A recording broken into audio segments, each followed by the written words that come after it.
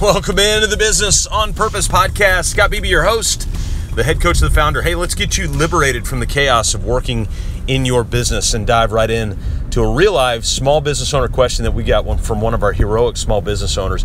And common sentiment, something that makes you feel a little bit overwhelmed. And the question was simply this we get to uh, the process build portion of the four steps program and we usually get a question similar to this and that is wait a second do i have to document and record every process i do?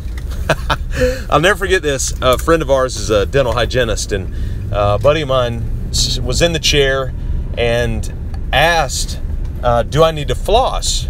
And the response from the hygienist she kind of i guess softly and sweetly said you only need to floss the teeth you want to keep.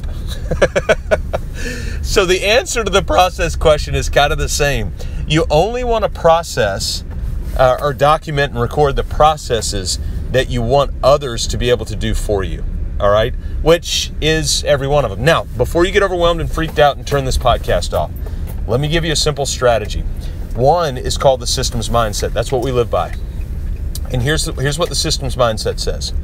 Whatever the next thing is you are about to do, document it like it's the last time you'll ever do it. Whatever the next thing is that you are about to do, document it like it's the last time you'll ever do it. And you can document it in multiple ways. You can document it by writing it down. You can document it by doing a screen recording. If you go to screen uh, ScreenFlow for Mac, or actually it might be for PC now.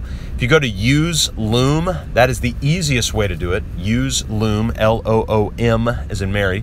UseLoom.com uh, it's free, it's simple, it's easy. We use it all that we've done thousands, literally thousands of videos on it. Um, and so you can document by just simply recording. Anything that's on the computer, you can record it. Um, and it's right there. And the beauty of that is it captures every little step. So you don't have to go through and think, you just do it. So if you're doing payables, just hit the screen capture and just do it. If you're doing some kind of software, uh, uh, uh, software, you know, workflow that you would normally do on a day-to-day basis, just turn on the screen capture recording and do it.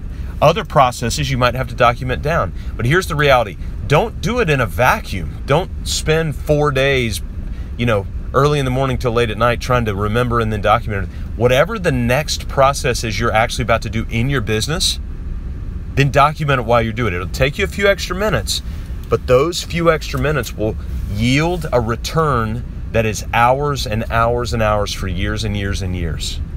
It is an incredible return on your time and money investment. So, whatever is the next thing it is that you're about to do, document it like it's the last time you'll ever do it. If you can do that, you will be in great shape. Then you'll say, Well, I've got all these processes. How do I get them out? Your weekly team meeting. Last five minutes of every weekly team meeting, pull up one of those processes and say, Hey guys, just a reminder as this process, where we're headed, what we need to do, etc., etc., and you'll be ready to rock and roll. Don't let it overwhelm you. And at the same time, don't get so overwhelmed that you just stop and not do anything. There is a process you're going to be doing today. There might be even a process you're doing right now. Document it while you do it. Record it. Record it by video. Record it by writing it down. Record it by audio. However, you need to record it doesn't matter. And it doesn't need to be clean or perfect. Just record it. And then when you record it, show up to your next team meeting and share it. That's where the training begins to happen. Such a powerful process. So the answer is what processes do you need to document? Only the ones you want to delegate, which should be all of them. all right, guys, hope that helps. Go after it. Get that used Loom or ScreenFlow, some screen capture software. In fact, I'm going to give you a challenge. Make your first documented video today of a process that you have. That's what I want to challenge you on. See you next time on the Business on Purpose podcast.